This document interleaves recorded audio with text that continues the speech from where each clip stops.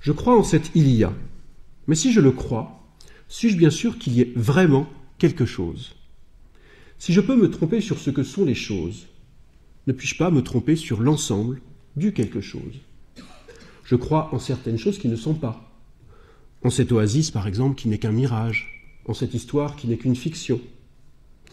Pourquoi le quelque chose, ce quelque chose qu'il y a, pris dans son ensemble, comme totalité de tout ce qui est, serait-il? Pour affirmer il y a quelque chose plutôt que rien, sans doute faut-il fonder rigoureusement, sur le plan du savoir, non plus de la seule croyance, une telle certitude.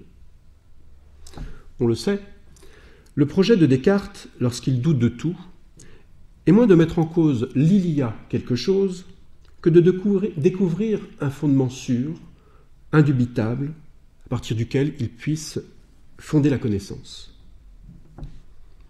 Pour trouver ce fondement, cependant, Descartes met en doute l'existence du monde, celle des choses sensibles, celle de son corps, celle même des vérités mathématiques.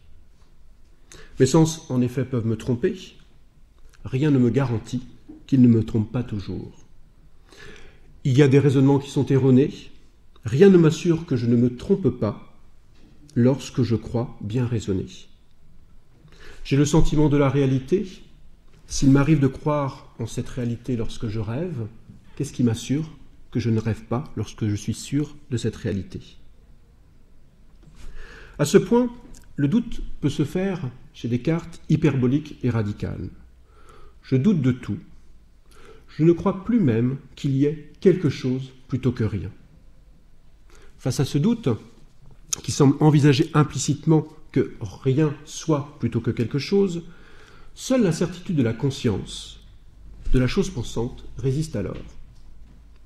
Qu'il y ait quelque chose plutôt que rien, la seule certitude de la conscience de soi l'assure en effet. Pour douter, il faut penser. Pour penser, il faut être. Je pense, donc je suis. Quand bien même n'y aurait-il rien d'autre que la pensée, la res cogitans, on ne peut nier qu'il y ait quelque chose plutôt que rien. Ce quelque chose, cependant, n'est-il que de la pensée? L'être serait-il pensé seulement?